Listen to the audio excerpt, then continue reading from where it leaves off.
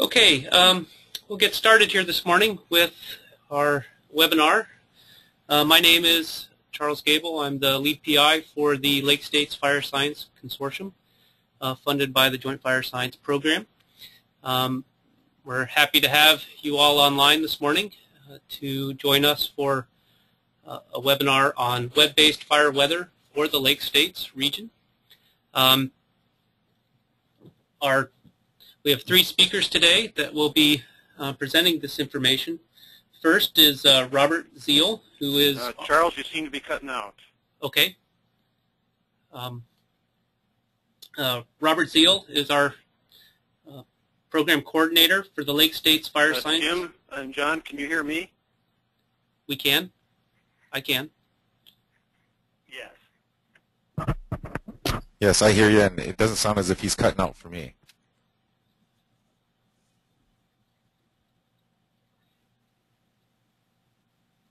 Okay. Um, is that better, Zeke?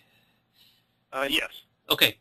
Um, so uh, we're fortunate to have Robert Ziel, um, Program Coordinator for the Lake States Fire Science Consortium, um, lead off here today uh, with our webinar. He has uh, 20 years of... Uh, you're cutting out again. Uh, Charles, I'm not picking up any of it. Okay. Um, I think we're getting some responses from everyone else in the group that uh, the audio is okay um, from the question. Well, I'm- Uh, in uh, Jim and John, can you hear me? Yes, I can hear you. Okay. Well, Yeah. I'm just going to go ahead and kick this off. Uh, uh, Charles must be having some problems with his uh, uh, uh, audio equipment there. Um, so as uh, Charles began to say, uh, uh, we're doing a, uh, a webinar today on web-based fire weather for the Lake States. Uh, I'm Robert Ziel. I'm the uh, program coordinator for the Lake States uh, Fire Science Consortium. Uh, John Horel is a research meteorologist uh, at the University of Utah and is in charge of the MesoWest project. I think most folks are aware of that and have used some of those tools. The Roman weather source is one that was designed and is maintained by MesoWest. And uh, James Barnier is uh, uh, a, a suppression specialist for the Wisconsin DNR. Uh, he, like uh, myself, has been involved in putting weather information, trying maintaining real-time weather information on the web for folks here in the Lake States for several years. And we're going to talk about some advances in that. So. Um, uh, so uh, what I want to mention first um, is uh, uh, that uh, this GoToMeeting uh, technology, you may have used it before, may not.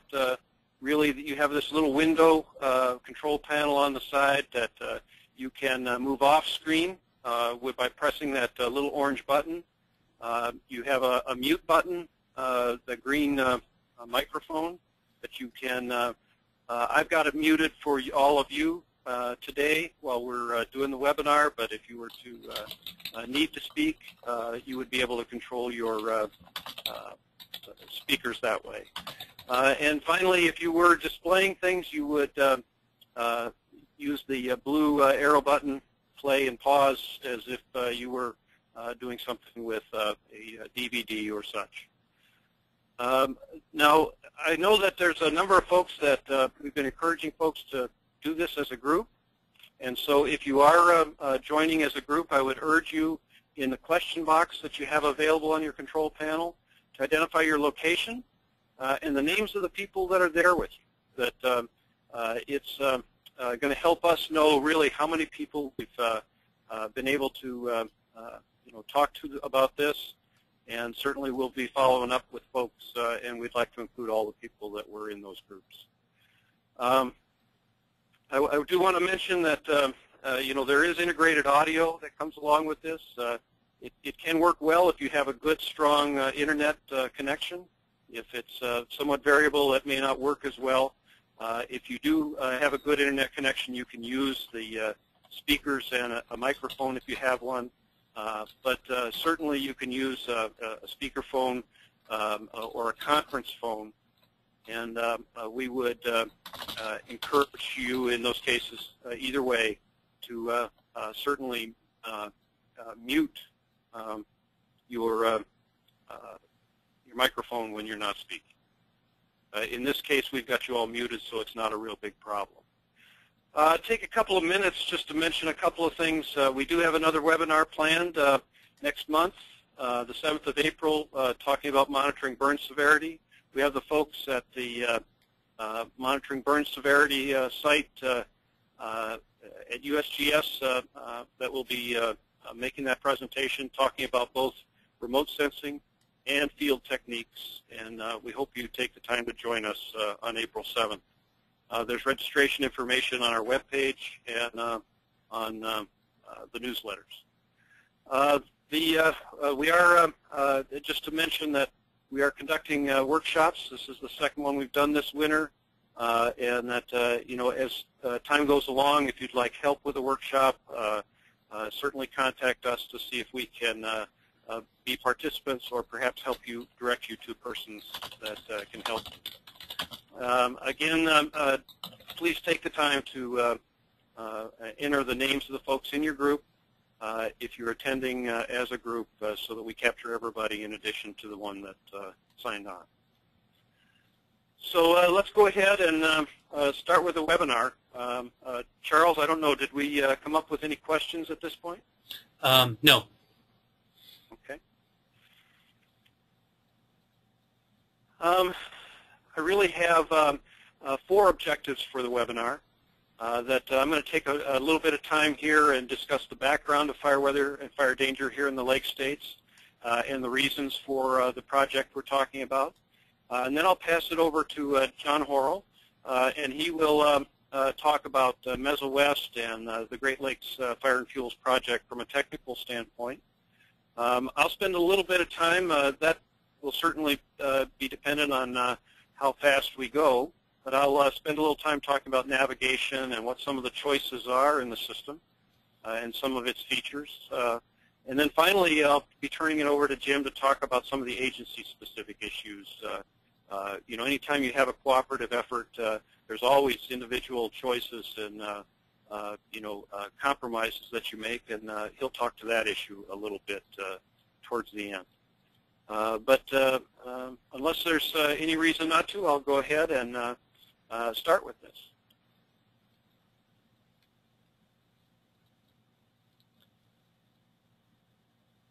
Okay, so uh, folks are uh, certainly familiar, uh, many of you, that uh, fire danger rating began uh, many years ago. the state of Michigan, for example, began using the 72 system, National Fire, National Fire Danger Rating, uh, in the early 70s, uh, and there were many, many manual records collected at almost every field office across the state. I think that Minnesota and Mich Wisconsin had similar histories. Uh, and uh, the um, uh, real big change for us came when we uh, received funding from a variety of sources to purchase remote automated weather stations. these RAW stations replaced most of these manual stations. Uh, the Michigan DNR uh, maintains uh, 12 or 14 of them. Wisconsin and Minnesota probably both maintain a, a larger number, somewhere in the range of 20. So there's also RAW stations that are cooperators, the Forest Service, Fish and Wildlife Service, uh, and Park Service uh, maintain across the three states as well. Uh, this map here gives you an idea of what that RAWS network looks like. Uh, at this point, uh, it's fairly well distributed, but uh, in the lower parts of the three states, you can see there are significant gaps. Um, with the advent of the RAWS stations came really um, the opportunity to use associated software. And that states found that the software that came with these RAW stations allowed us to collect the information to um, uh, actually store it and display it in a variety of ways. Uh, and that uh, you can still go to uh, all three state websites and see what that information looks like. That um, the um, the standalone software uh, was designed in the 90s, um, and um, uh, it served, it is still serving uh, in many places. Uh, but when you think about it, software that was designed when uh, Windows 95 was the uh, software or the operating system of choice um, is becoming long in the tooth, uh, and um, the uh, uh, manufacturer of the software hasn't maintained it in at least four years. They um, don't intend to maintain it in the future, and so we really began to need to look for other choices. When we looked at this, uh, the three states are part of uh, the Great Lakes Forest Fire Compact, and that uh, they're always uh, considering what issues they have in common and what opportunities they share to uh, solve their problems. Uh, and um, the opportunity arose to look for funding and to pursue an effort to modernize the way we collect, manage, and display fire weather information. Uh, we obtained a, a, a Forest Service redesign grant from the Eastern region, and uh, we're using those funds along with uh, uh, state funds and services to uh, work with MesoWest to uh, um, build this Great Lakes Fire and Fuel site. I, I think that it is important um, to um, recognize that um, choice of MesoWest was not accidental or um, uh, them in any way. Is that uh, I think we all uh, have looked at Roman and seen what all kinds of information there is in there, and certainly the notion that we can use information that is beyond our RAWS network uh, was uh, a, a real meaningful opportunity that MesoWest brought to us. They have also, they provide certainly a uh, familiar interface, but this information and the skills and technical understanding that they have uh, has really made this uh, project possible. Um, so really that's, that's what we're talking about uh, today is uh, this Great Lakes Fire Fuel Site. Um, you can see the, uh, uh, the web address here. Uh, it's uh, glffc.utah.edu. Uh, it's based on MesoWest technology and resources. Uh, it went uh, operational as of uh, March 1st, uh, and that uh, uh, although we uh, uh, this is really the, the rollout season, and so uh, we have it built so that we'll be reviewing it through the year, uh, and that uh, development will be completed by October 1st. That doesn't mean that uh, the project will be finished. Uh, that uh, a lot of the things that we're doing here uh, are uh, being tried for the first time, uh, using information in ways that it hasn't been used before. And so uh, uh, we're going to learn as we go uh, with this. So uh, uh, this is uh, uh, really our opportunity to show you what we've been working on and where we see it going in the future. So um, uh, I guess, Charles, um, I would ask at this point if there are any questions that uh, we should address. Um, I don't have any that have been posed by the group here this morning at this time. Well, I'm going to uh, then uh, probably pass it over to uh, John. And John, just tell me when you want me to advance the slide. Okay. Well, thanks. I appreciate the opportunity to participate in this. And you know, just to give you a little bit of history, here at the University of Utah, we've been working with the National Weather Service and, and the land agencies uh, dealing with how to get access to the you know, weather information all over the country. And it, it's just kind of filling the need of being able to bring all the data from a variety of different resources and, and make them available for both you know, operational use, research use here uh, at the university and other places, as well as uh, access for the public. And this has been, go ahead and advance uh, Zeke through the rest of uh, these points here. And so Roman, uh, Roman really um, has been sort of the front end for a lot of the fire weather applications, and it actually is is undergoing sort of a refresh right now, where the software right now exists down at Western Region of the National Weather Service. It's in the process of moving to some uh, uh, facilities in Kansas City. So now go ahead and go to the next so the one thing to recognize with MesoWest is is really it's a, a relational database, and and we uh, as we collect the information, we archive it. Uh, we do some really rudimentary quality control. It's not the best in terms of, of quality control. It's just kind of identifying super uh, bad observations. For the purposes of the Great Lakes Project, the focus is primarily on the raw stations and then as well integrating in the National Weather Service uh, observations that are primarily at airports in cooperation with the FAA. And then in Michigan using what used to be the MAWN uh, agro network and now is uh, recast as EnviroWeather. So the kinds of, you take all that, those observations in what the National Center for Environmental Prediction, which is part of the Weather Service, there's a lot of need in the Weather Service and, and a variety of other uh, agencies for gridded analyses, where you take all the observations, they're scattered in space, and how do you get those onto a, a high resolution on the order of five kilometer grid. So this real-time mesoscale analysis is a, is a tool out there that takes sort of a first guess from a model forecast scaled down to five kilometers, and then it uh, incorporates all the observations that are available in real time. And that does introduce some problems because some of the RAWS data won't make it into uh, the RTMA if there's some latencies in the uh, access to the data. But you bring all that in and you get an analysis. Now, as well, the Office of Hydrology creates a uh, multi-sensor precipitation grid which incorporates um, the actual gauge data with radar estimates. And uh, so that's another resource that gets blended into all of this. So those are kind of the observational assets. So, and uh, as we then uh, take advantage of the forecast products that the National Weather Service creates, uh, Zeke, does that forecast one fill in there? No, it's not showing. Sorry about that. Okay. Well, I'll just walk through it.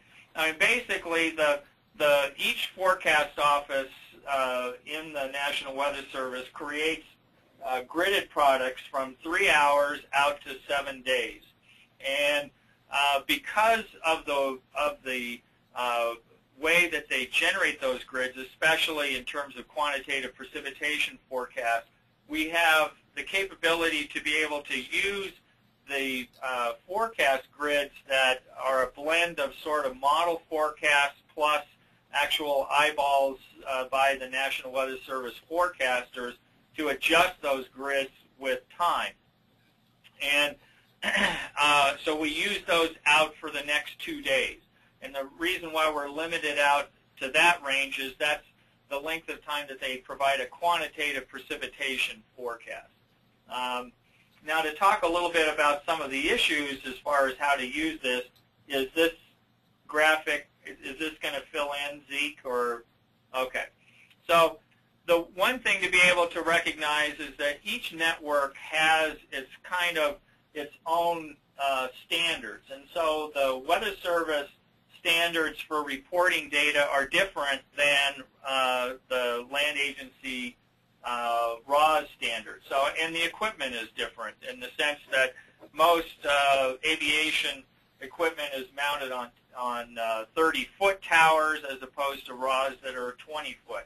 The time interval that the observations are made tend to be, well, are required to be a shorter duration for the National Weather Service than a 10-minute average for the RAWS observations. So what that tends to do is, is that the Weather Service observations will tend especially to have higher wind speeds than uh, a RAWS if you were to co-locate those two. And then that also translates in in terms of the model forecast uh, that the Weather Service starts from and then adjusts, there's the tendency for the forecast to actually be uh, higher as well. And so that right now we're we're bringing in the the wind information uh, into the uh, fire danger rating codes, and we're we're diminishing them a little bit, but we don't have a whole lot of feel yet for how to adjust that, and that's something we'll do over time as well. The other thing to be aware of in terms of both the, the gridded precipitation estimates in terms of what actually happened are uh, you know really dependent on where the gauges are uh, and you know what the coverage is of the uh, of the radar. So you'll you'll have gaps. There'll be places that'll miss. And then, especially as far as the forecast products, the the uh, grids are going to be dependent, and you'll see artificial boundaries uh, between adjacent National Weather Service uh, forecast areas. So they each have their own county warning area, and you may see some sharp boundaries in uh, in some code products as a result of these differences in precipitation. So I think, and you can go ahead and go to the next one. Uh, and again, this just kind of shows, um, even though within sort of you can go into the MesoWest mode uh, and look at things nationally, the real the focus here is you know is on the Michigan, Wisconsin, and uh, Minnesota domain, and uh, so that it uh, keeps this fairly manageable. And then go to the next one. Um, now, Zeke, were you going to go through these, or did you want me to? Uh, well, I can go through them if you'd like. Uh, that uh, uh, Yeah. so. Uh, yeah, why don't you, so then you can walk through them a little easier. Uh, so what we've designed in the system is that uh, uh, for the uh, stations that uh, we decide to uh, conduct calculations on, uh, and there are a number of the National Weather Service stations that do not collect rainfall, so we don't include those. Um, uh, there are others where the uh, uh, data is suspect, and so we have control of which ones are calculated. Uh, the, uh, uh, each of those stations where the decision is to make calculations that Canadian Forest Fire Danger Rating System daily standard values are calculated for all fire weather index codes and indices, basically at midday for both the current and the next two days. Uh, in addition to those daily standard calculations that uh, the system is designed to produce hourly calculations of those uh, codes that change uh, based on uh, uh fast-changing weather conditions like wind. and you'll see that the fine fuel moisture code, the initial spread index, and fire weather index all have hourly values that will be displayed in the system. with respect to the National Fire Danger Rating System, that uh, the system will collect and display daily uh, NFDRS indices and point forecasts, uh, but only for those raw stations that report uh, uh, to WIMS. The information is coming from WIMS, uh, and all we're doing is displaying that information in behalf of the users.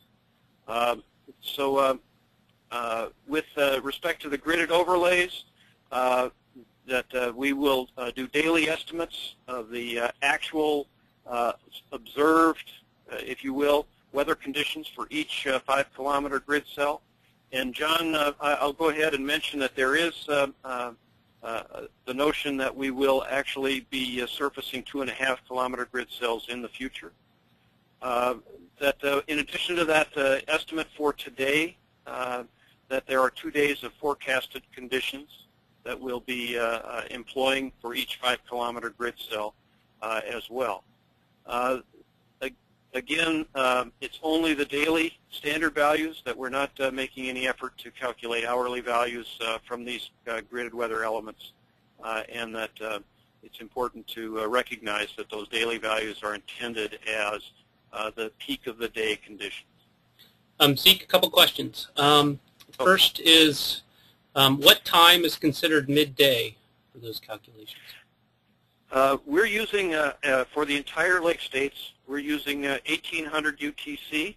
Uh, that translates to 1400 uh, Eastern Daylight Time or 1300 Central Daylight Time.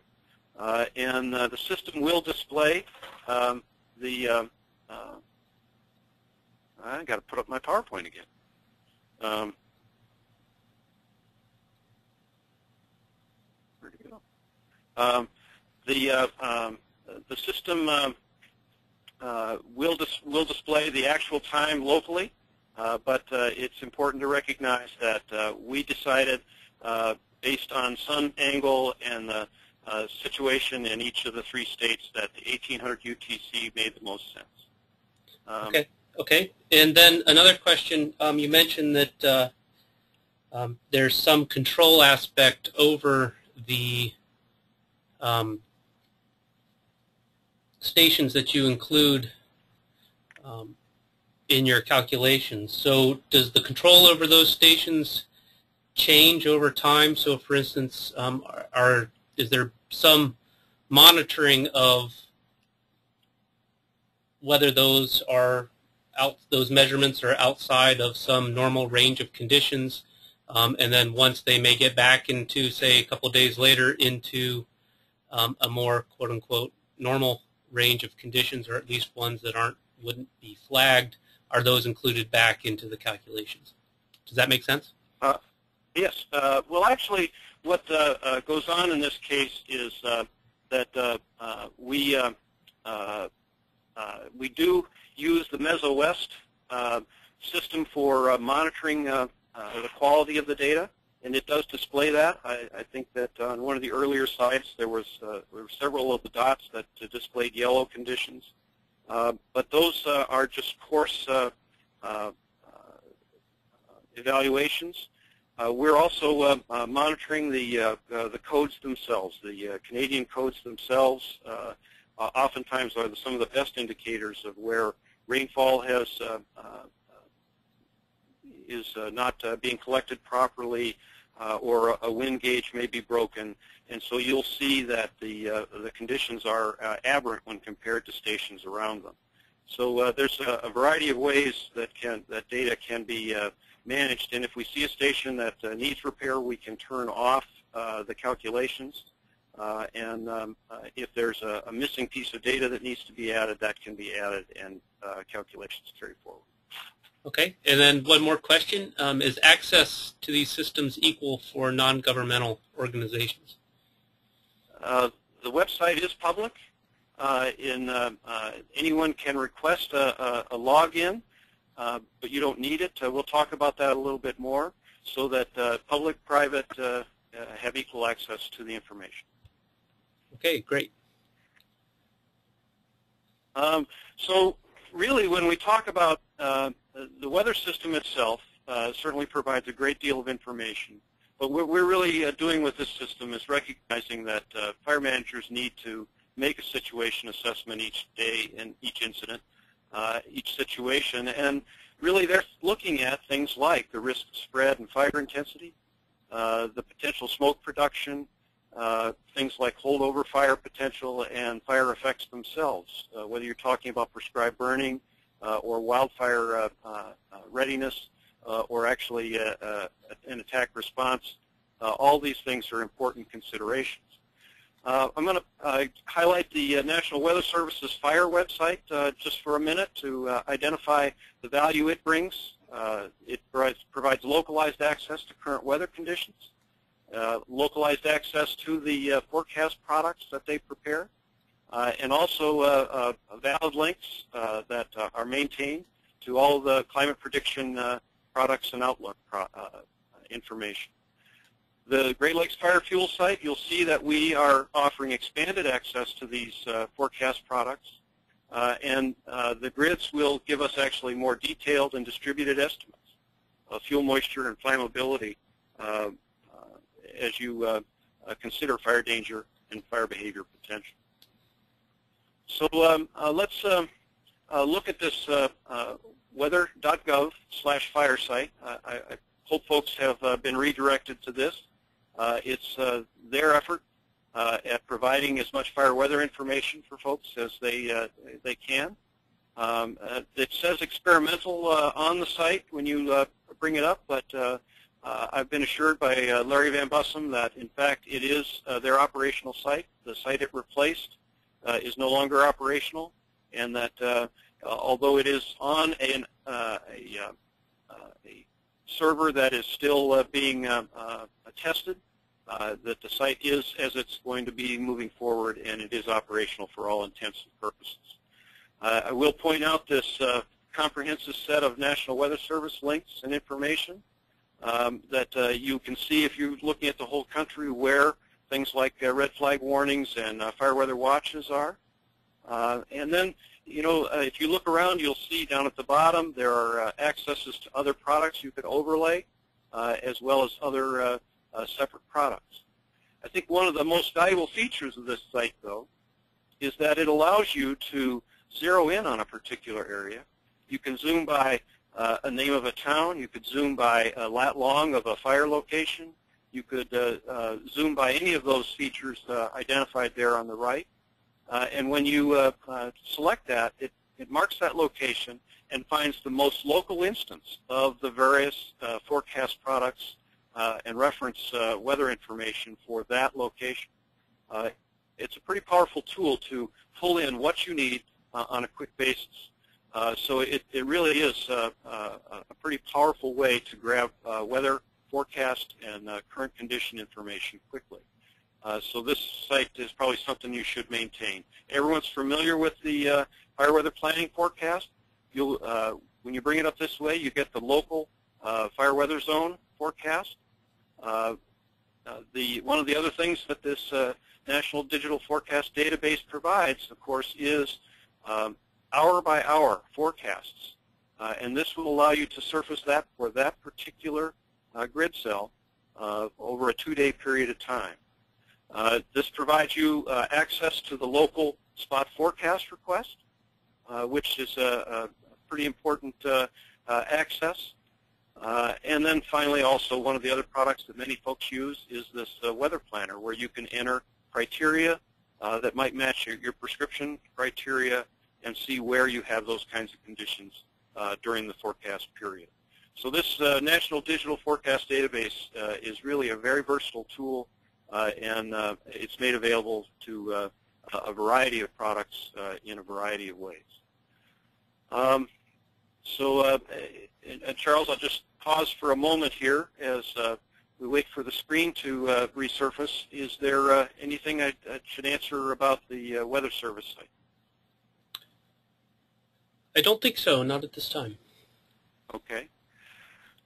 Well, what you're looking at now is the um, welcome screen uh, to the Great Lakes Fire Fuel site. Again, the website uh, is a fairly simple one to remember, uh, and um, it's available to everyone, public and private as well. you'll notice there's a login site there and an ability to create a user. We'll talk about that a little bit more, why you might consider doing that, but it is not required. Um, you'll notice on this page is uh, there are some uh, uh, specific access to uh, various databases, and that this probably gives you access to the widest assortment of data, you know, for any particular station. Um, the, um, uh, the links here on the left are designed to make it easy for you to start from this site and move to others. You'll notice that National Weather Service Fire Weather site is linked here. Uh, the three state sites are linked there. Uh, and also there is a contact uh, for each of the three states if in fact uh, you need to contact them with questions or considerations. You'll notice at the center of the page that PDF is information that's very much like what we're talking about on the webinar. You can go there to uh, uh, you know, download that file and uh, maintain it as a reference at your desk as you use the site. And finally, the way you get into the system uh, further is to actually just click on the map that shows on this screen. Uh, you know, we uh, uh didn't design a, a very um, uh, site. It was really designed mostly to be functional for folks so that it will come up quickly and provide them the information they need readily. And so if you log in from this website, the only way, the way you get to the map page is just simply to click on the, the map on the screen.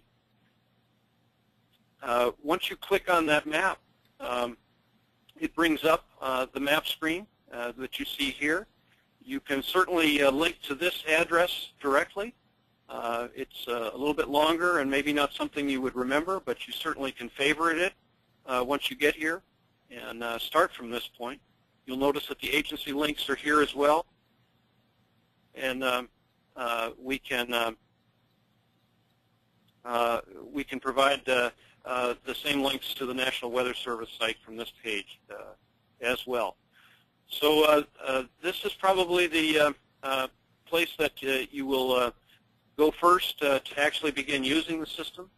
The map screen is based on the Google Map environment, very much like working with Google Earth. Uh, and uh, you have zoom controls on the upper left. Uh, that it provides a number of different overlays that you can put on the map. And uh, again, you can uh, log in from this screen uh, directly as well. So let's uh, uh, talk about the Canadian system. Certainly it's the system that we have emphasized with this development of this site. The uh, Fire Weather Index uh, system uh, really is a very simple system. It requires only four weather elements at that midday uh, time of observation. Uh, if you collect hourly data, you can make hourly calculations, but uh, for the purposes of things like the grids, uh, that daily observation uh, only requires four weather elements, temperature, relative humidity, wind speed, and rainfall. Now the reasons for the, uh, when you use a system like this, it may not always respond in ways that you agree with, but it's very easy to see what causes the changes in the codes or the indices. When it rains, the codes go down. Uh, when it's windy, the codes go up.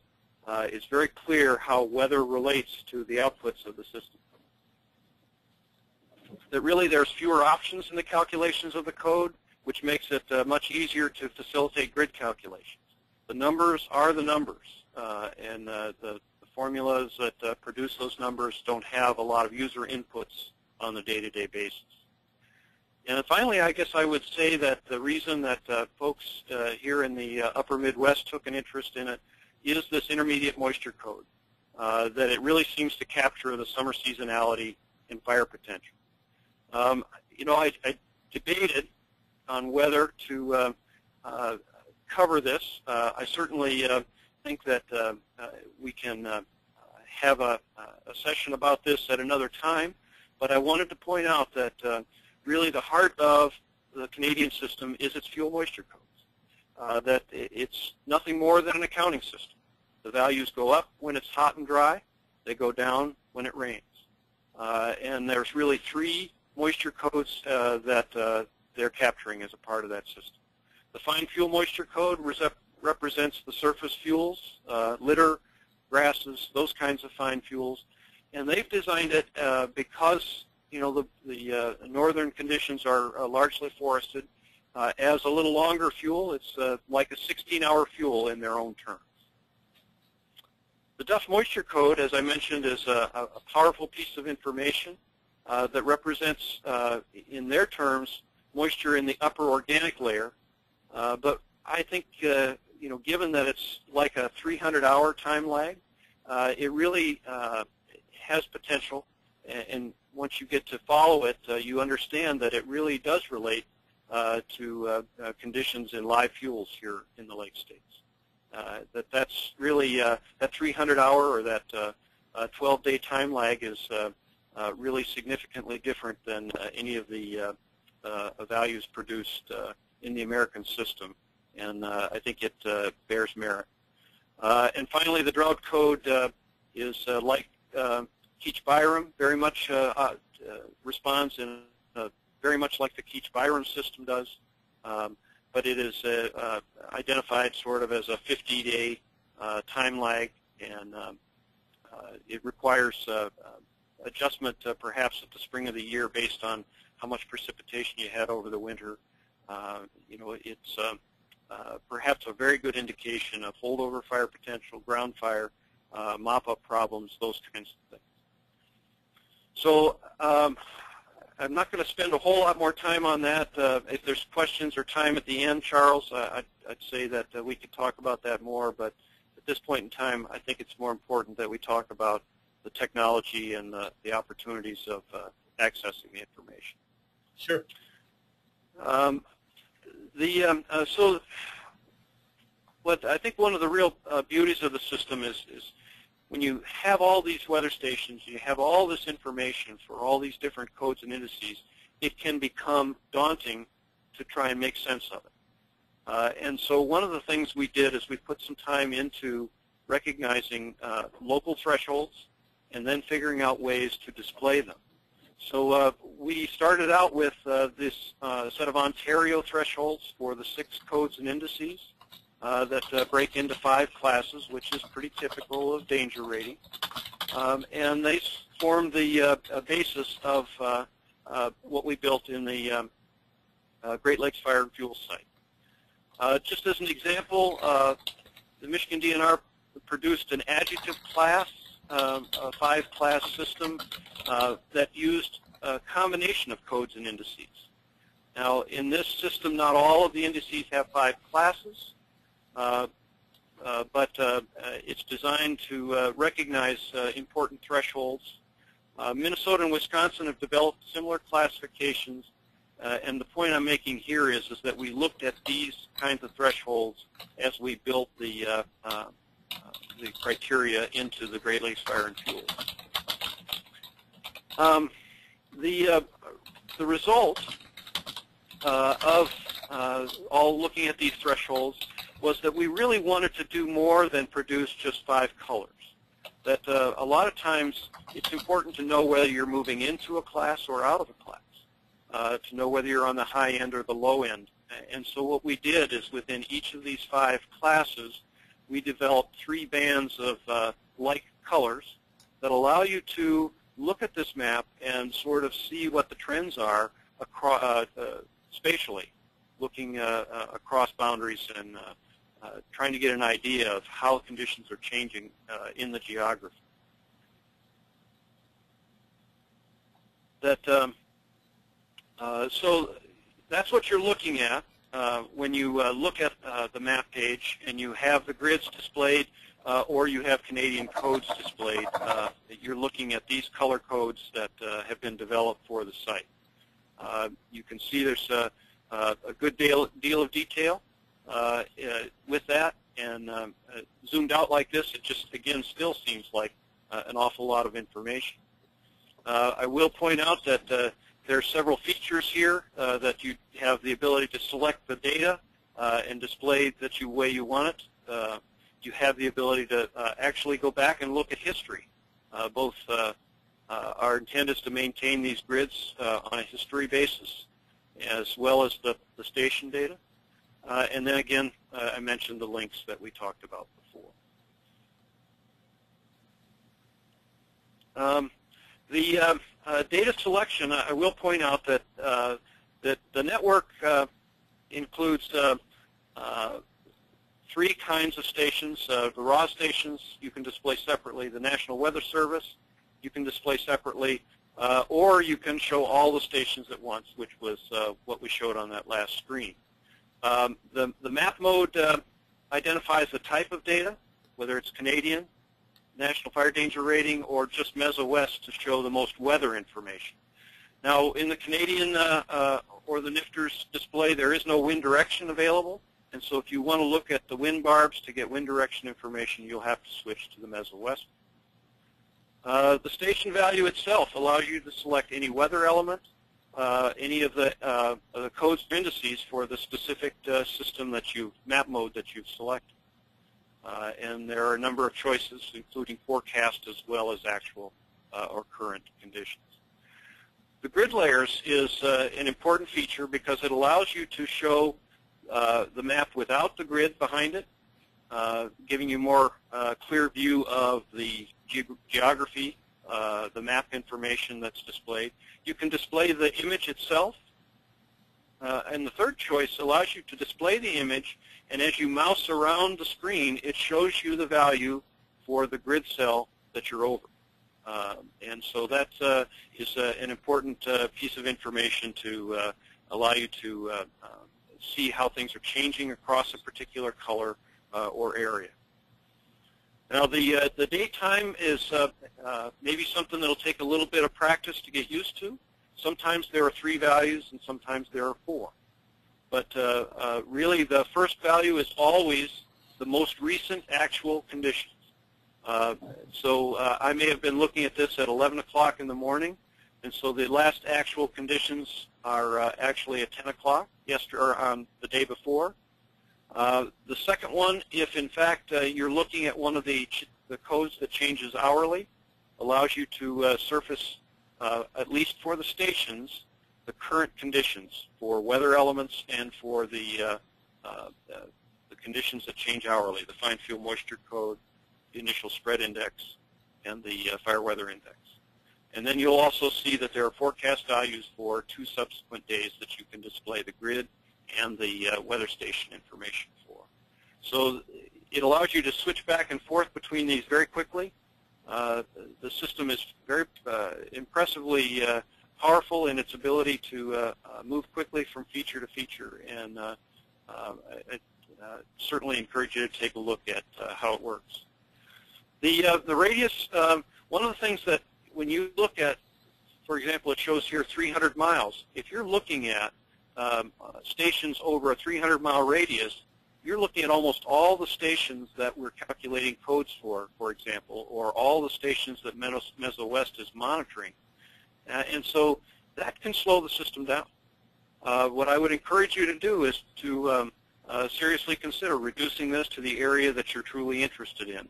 Uh, perhaps a 50-mile radius around a prescribed burn, uh, or a 100-mile radius around uh, an area that you're managing, uh, that sort of thing.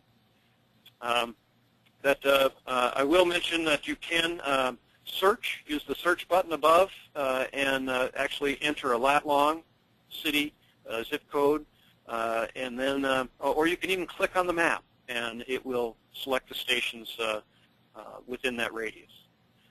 Uh, you have the ability to show a table of data instead of the map which uh, uh, will give you a good picture of an individual station uh, very quickly and a combination of those based on your radius selection. The time option is um, another powerful feature uh, that, uh, as I mentioned, there's quite a bit of history built into this.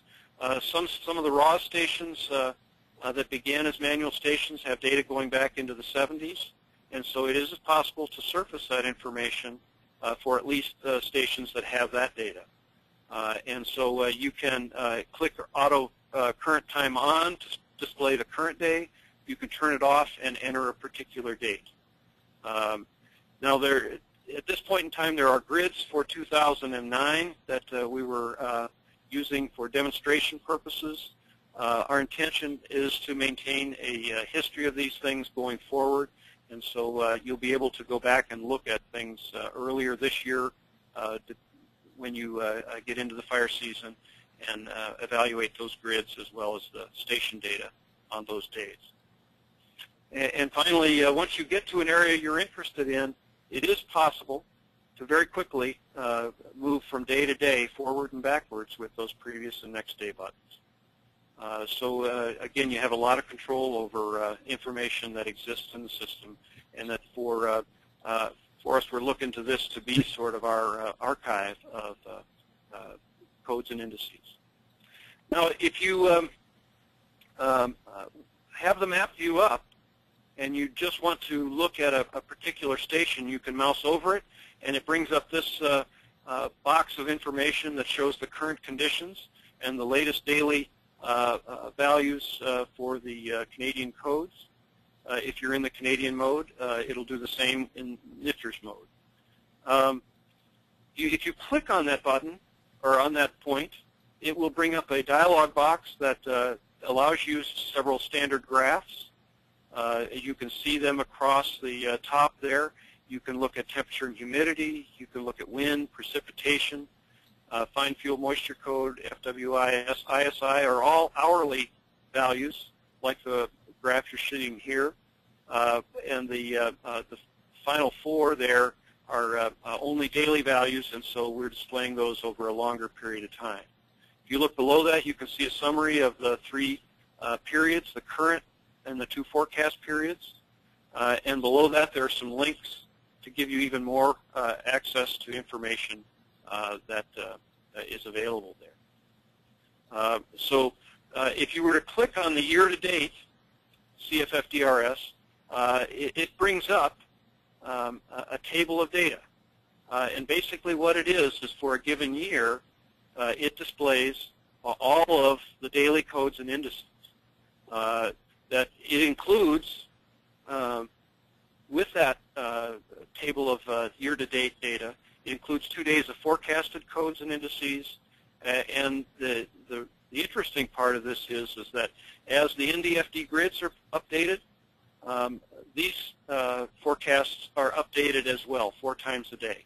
Uh, what they are doing is going back and at these uh, grid cell locations, uh, collecting what rainfall has actually been collected uh, and updating the forecast to just the shortened period. And so uh, the next forecast period is updated with actual rainfall that has fallen uh, through part of the day.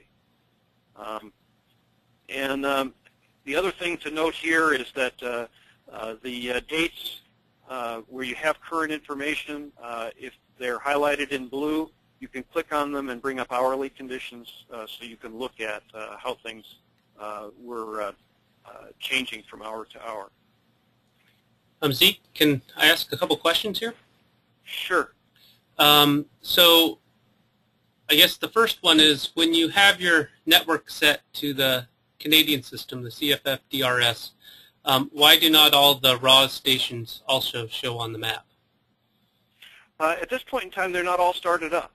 Uh, it's still uh, winter time in many places, and so uh, uh, the, the stations that have been started up in uh, northern Wisconsin were done for testing purposes. We're evaluating just how much they changed during the winter because we think it's possible that they can be operated throughout the winter. Uh, at this point in time, uh, they've been operating for uh, a couple of months, and the drought codes really have not climbed at all. that the ones in southern Michigan have been started because they actually are in burning conditions, and I think that uh, across the uh, other two states, we'll see those things starting up uh, relatively soon as well. Okay. The, we have the ability to edit those based on location. Okay. Um, and then when you look at historical data that you can download from the uh, MesoWest site here, um, are those the actual conditions or what was for the forecast was for those dates historically? It, it really depends on uh, what it is you're asking for. That uh, if you're in the current year uh, and you're at the current day uh, and you ask for the forecast period, it will display forecasted uh, grids and uh, station codes. If you're looking back at history, uh, like last year, that, uh, that subsequent days will be actual values. So really it is in context to when you're looking. Okay, so it's not possible to look in the past, say from last year, and actually get the predicted information or forecasted information for that date. It will only provide the actual data. Uh, you can actually download forecast information from last year. Okay. Uh, uh, that uh, the download feature allows that. Okay. And then um, finally, what time specifically is the um, NWS forecast info um, ingested or included? Uh, that uh, we're collecting that sometime right around midday. I think, John, can you speak to that? Yes. So they're done four times a day. The uh, forecasts are updated, but the critical one is the one uh, at 12:30 Central Daylight Time, and then basically six hours after that. Oh, 1:30 now. 1:30 Central Daylight Time, and then every six hours, staggered from there. Okay. So, um, uh, yeah. And so a follow-up. Yeah, so a follow-up to the um, historical um, question. So if you're looking back a few weeks ago, um, will I be getting actual data or the forecasted data? And so I'm guessing you can actually um, specify that as an option when you do your uh, query. Is that correct? I think the only way you can look at forecast data from the past is by downloading it uh, from the download links. Okay, so if you are looking back from for a few weeks ago, you will be getting the actual data for, that was recorded. That that's my understanding. Yes.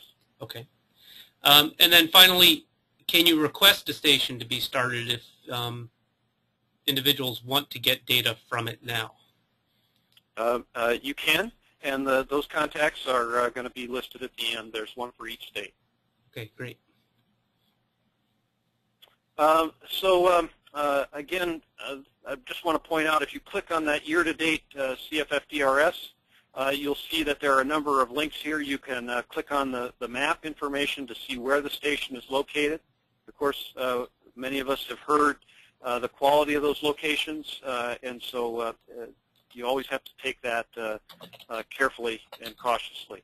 Um, that the, uh, as I mentioned before, you have the ability to change years here and go back and look in the past. Uh, you have the ability, as we've been talking about, to download CFFDRS data for a particular station. Uh, and you also have the ability to uh, customize graphs. Uh, uh, here you can change to graphical display and have access to a variety of graphs. Um, the um, uh, I, I will mention that uh, we are surfacing fire danger uh, classes for both uh, uh the Canadian and uh, national fire danger rating systems, uh, and Jim Barnier will talk about that a little bit more.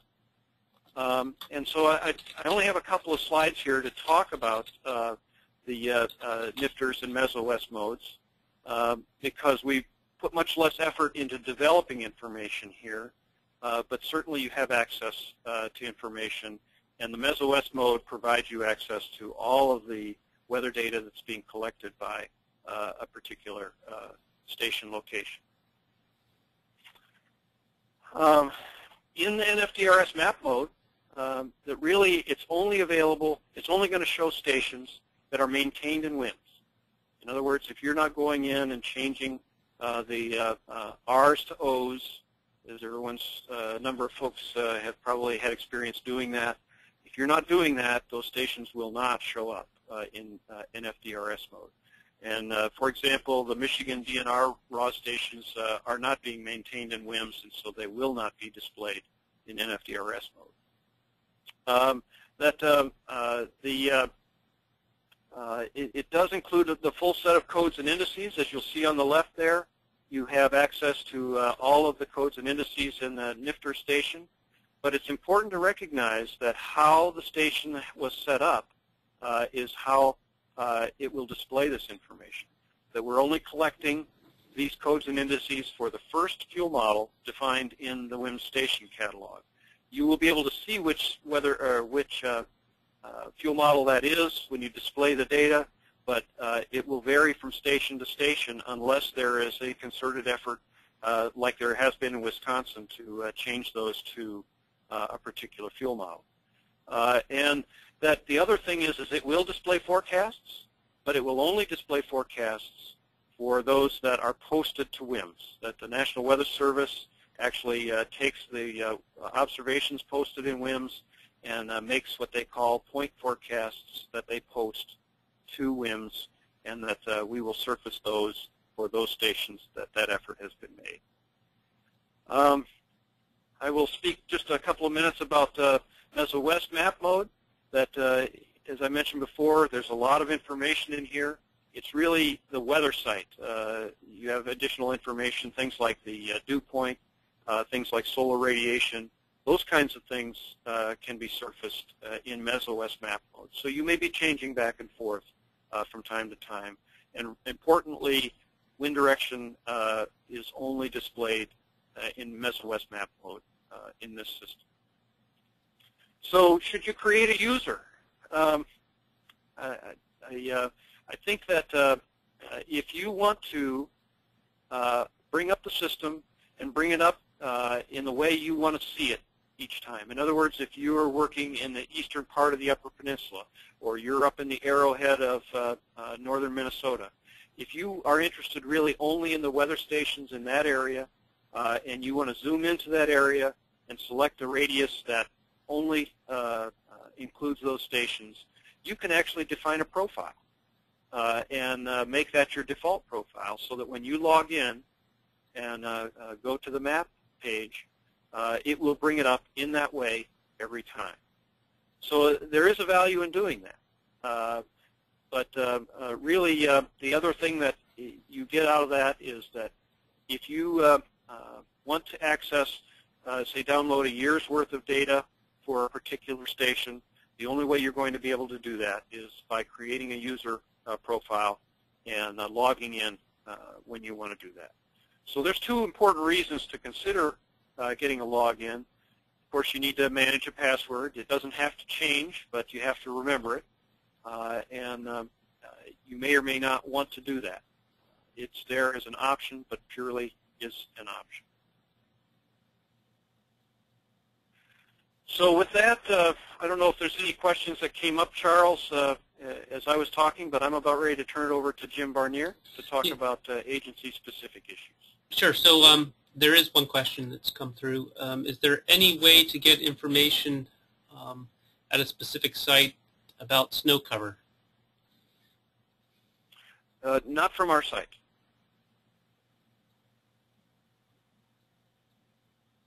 Okay, that was a short one. All right. All right. Well, um, uh, Jim, I'll uh, advance the slide when you tell me to. Okay. Welcome, everyone. And I guess uh, my, my uh, effort here you may is be muted, Jim. No, he, he's good. I can hear him at least my effort here was to uh, look at and develop some some uh, fire danger rating perspectives as it's related to uh, different fuel types that uh, exist in the Great Lakes area.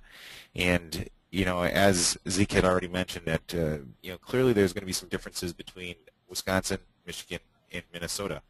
And between those issues, really what we're trying to achieve was to develop a difference in in perspective as it related to conifer fuel types, grass, and hardwoods. Um, Zeke um, in Michigan took some great efforts of developing some basic standards that they used in Michigan for conifer types and uh, broke those out into both spring, summer, and fall conditions. Uh, here in Wisconsin, uh, we took those same uh, components and looked at those and developed basically uh, differing breakpoints as it related to uh, conifer, grass, and hardwoods. Um, and, and, when we look at uh, fuels and, and, fire danger as it relates to the Great Lakes, uh, some of those components are related to uh, or have strong perspectives as it relates to fine fuel moisture code, ISI, and BUI. Um, when it comes to summertime conditions.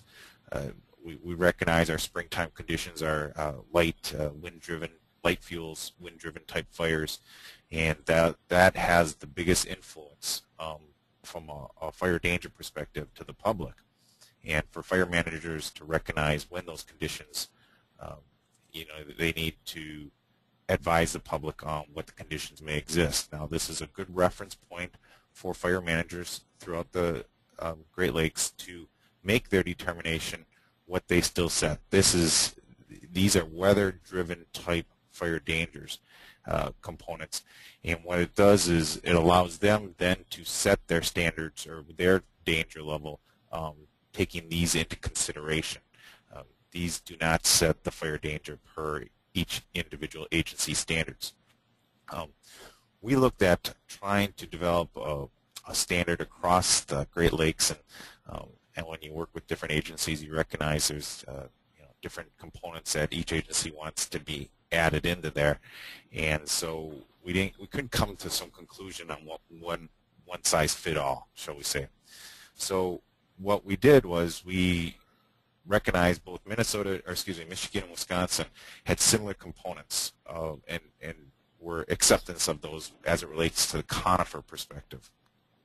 And so what you see surfacing now on the map is uh, basically the conifer fuel danger springtime breakpoints that would be established. And and those are um, they'll be surfaced in here. Um, they're not on here yet, but so you can understand what the how they were developed and uh, generated. But um, those items are basically the same standards uh, for conifer, grass, and hardwoods during the springtime component. As we recognize, um, it's light fuels, uh, you know, the wind wind uh, coefficient as it relates to hardwoods isn't affected um, substantially due to you know leaf off components. So the standard class fit fit across all three types. The difference you see is you'll see is in the uh, summertime uh, breakpoints where we took those those items, those different winding, wind uh, uh, uh, coefficient components into consideration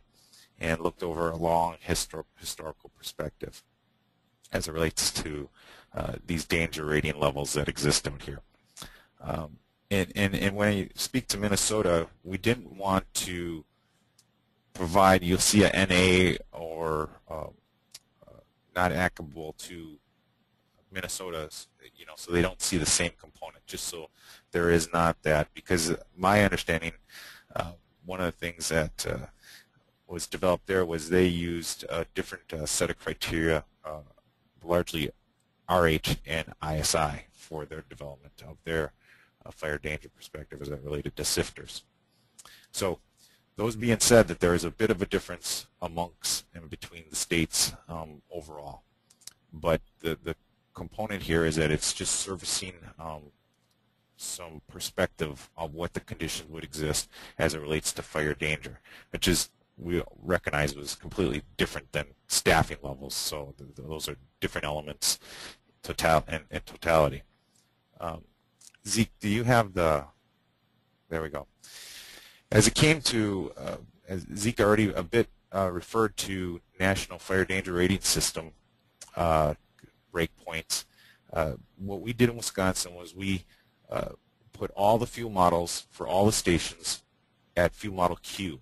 And uh, if you were to surface over any one of those, you'd see fuel model Q as the standard. So we thought it was imperative that you could compare apples to apples across the state. Um, and then you could see uh, what those breakpoints were as it related to fire danger using the BI component. Now you can, you know, this one is is looking at BI, um, but obviously you can do ERC or um, ignition component uh, and spread component as well. But those were where the breakpoints were, and uh, in the top left there you can see where it says uh, fuel model Q colors. I mean, you can click the colors component off if you want and just see the values if it is if it's associated there.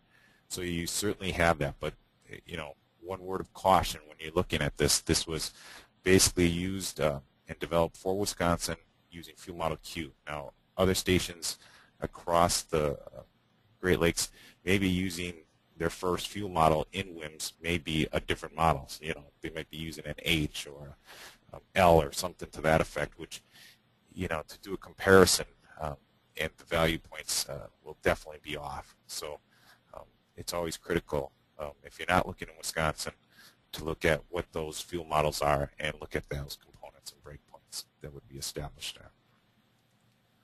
Um, is there any questions as it relates to, uh, you know, the fire danger and different agencies' perspectives on how they, they establish those? I don't have any at the current time. Okay. Um, I guess as I would I would look at this, and uh, if there's any further questions as it relates to um, either one of the agencies, uh, certainly make contact for me for any issues in Wisconsin, uh, Doug and uh, Don Johnson in Michigan, um, Doug from Minnesota.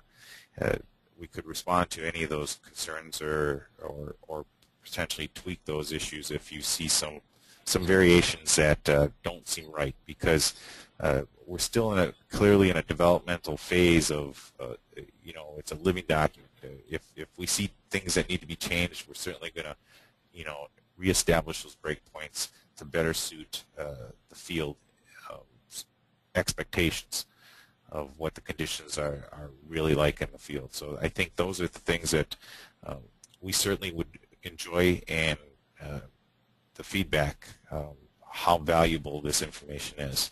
Yep. Um, Jim, um, so are other federal agencies in Wisconsin also using the FMQ?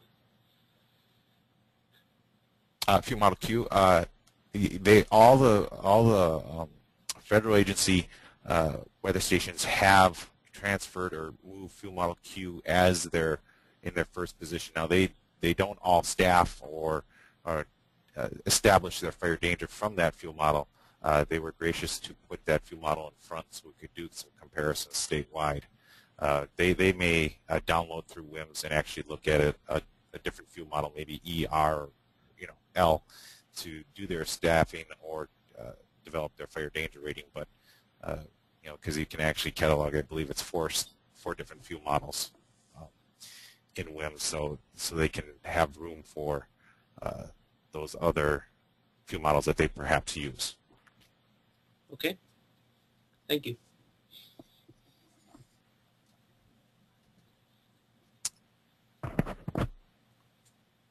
That, that unless there's questions, uh, that, that would be all the information that I have available at this time. Okay.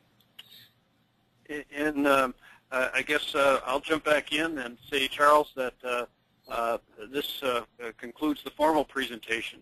That uh, if there are other questions or comments, we'd certainly entertain them, and um, we could, um, you know, continue if there were specific questions. I hope that some folks had the opportunity to log on and uh, uh, to the system and were uh, following along with us, and uh, uh, that they will take time over the next few days and weeks to uh, get more familiar with the system. Sure. certainly communicate with those three folks. Yeah, there there is one question here, um, and I believe this goes back to um, the last part of your portion that you presented, Zeke. Um, so old profiles that were created in that system, will they transfer to the new site that's been developed? Uh, they do, uh, but I would urge folks to uh, uh actually create new ones. That the system has changed uh, pretty dramatically from last year, and uh, I'm not sure that there aren't some gremlins in those old profiles. So last year, the system, as it was different, it actually encouraged the use of multiple profiles. I think really the only profile that a user really needs to have uh, now is the one that identifies the area and the uh, radius for stations that they want to include. Uh, with that one profile set as a default, they can bring up the system as they want and then uh, uh, change it as they need uh, for a given situation. Okay. Um, do we have any other questions from the audience here? this is John. I just wanted to interject. Uh, one thing to be aware of is with the um, this computing facility located within the university, we are at the uh, whim of university IT folks. And so next Tuesday, March 22nd, this site will be down for maintenance from about 8 a.m. Central Daylight Time until early to late afternoon and this happens about once every four to five months where it uh, is sort of pulled, the rug is pulled out from underneath us. So um, we will be posting that on the site and will one thing you'll want to be paying attention to is there is a link to a status information and we'll use that as a way to also communicate if there are known problems. Uh, that's a great point, uh, John, and I think that uh, that really, anytime you have a system like that that depends on internet connectivity, we've become so dependent on it, and we've become so confident in it that we don't always uh, prepare for Murphy. Uh, and I think it's uh, maybe something to think about that if you notice that warning, uh, and I'm hoping that John puts it up several days in advance, that you make preparations. And one of the things is, is that for your area of interest, it might be important to print out the, uh, uh, the code, the current codes for the day before, so that if you need to uh, make a manual uh, calculation, it is possible to do that. Um, Zeke, we have another question that's come in. Um, so will the Michigan DNR be maintaining the fire weather site that you used to maintain? Is that going to continue on? Um, especially with the graphs of the Canadian codes? Uh, actually, uh, I, I, I, think that direction, that question needs to be directed to Don Johnson. Uh, that uh, I, I, think that this system was designed to provide all of the information that uh, was on that Michigan site and uh, more. so I would encourage folks that have been going there for weather information to learn to go to this site. Okay. Um, another question. So when you're looking at a forecast at 8 a.m. and planning for the day, um, what forecasted weather will be used? Uh. Well, so uh, what you are, are looking at 8 o'clock in the morning, uh, the actual values will be for, uh, for the actual daily values that will be displayed will be from uh, midday yesterday. Uh, and uh, the forecast values will be for uh, midday today and midday tomorrow. The conditions at that point in time, you will probably have uh, 12 to 14 hours of actual weather incorporated into that. And so if it has rained overnight, you will actually incorporate that actual rainfall, uh, and then they will only be incorporating three or four hours of uh, forecasted rainfall into that uh, first day forecast. So really, uh, you're getting uh, as close to a nowcast as possible when you come in at 8 o'clock in the morning and look at that forecast. Okay. We have any more questions from the audience this morning? I guess morning where you are, afternoon where I am, here on the East Coast. Well, I really appreciate the, uh, the attendance, uh, and um, uh, we will we did record this. We'll be uh, certainly communicating with the folks that registered, uh, and um, uh, you know we hope you consider joining us for the one on April 7th. I'd like to thank Jim, John, and, and Zeke for their time and very nice presentation today. And um, I think with that, we'll conclude the webinar today. Um, happy St. Patrick's Day, and thank you for attending.